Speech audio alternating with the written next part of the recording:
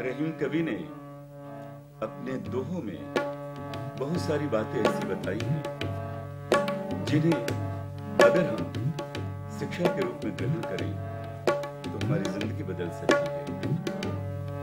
दोहे बहुत सरल, सुंदर, मनोहारी और मन को छूने वाले हैं। इन दोहों में अमृत है। इन दोहों के पास अगर हम चले आए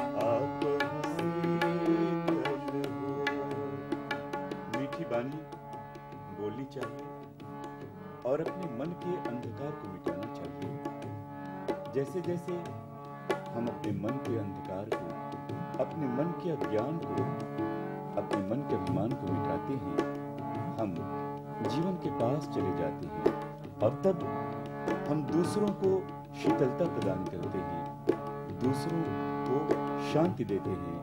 और हमारी आत्मा स्वयं शीतल हो जाती है मधुर हो जाती है।